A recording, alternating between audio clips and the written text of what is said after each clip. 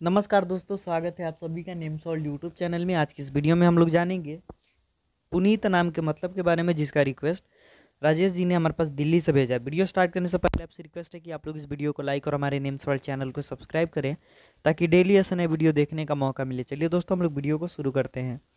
आपको बता दें अगर आप अपने बच्चे का नाम पुनीत रखने की सोच रहे हैं तो सबसे पहले उसका मतलब जान लेना बेहद ही ज़रूरी होता है। आपको बता दें कि पुनीत नाम का मतलब शुद्ध या पवित्र होता है। शुद्ध या पवित्र मतलब होने के कारण पुनीत नाम बहुत ही सुंदर बन जाता है। पुनीत नाम रखने से सब आपके बच्चा का अर्थ जानना बेहद ही ज़रूरी होता है। जैसे कि पुनीत नाम का मतलब शुद्ध या पवित्र होता है और इस अर्थ का प्रभाव पुनीत नाम के व्यक्ति के स्वभाव में भी दिखने लगता है। पुनीत नाम का राशि ग्रह बुध और शुभ अंक पाँच होता है।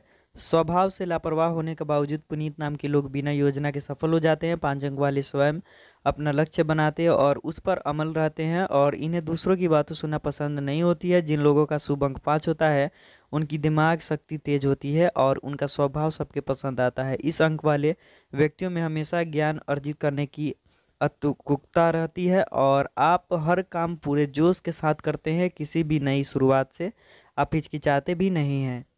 पुनीत नाम के लोग की राशि कन्या होती है। पुनीत नाम के लोग को अव्यवस्थित चीज़ों पसंद नहीं है। इन्हें सभी चीज़ों का सही जगह पर रखना पसंद होता है। इस नाम के लोग दोहरे व्यक्तित्व के होते हैं और ये कई बार अलग अलग तरीके के पेश आ सकते हैं।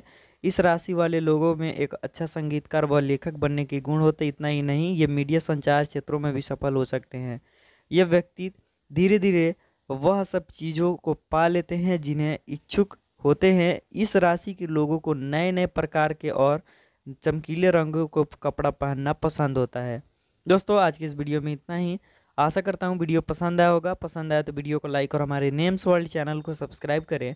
तब तक के लिए मिलते हैं अगले नए वीडियो में किसी खास नए नाम के अर्थ के साथ। तब तक के लिए बहुत बहुत धन्यवाद।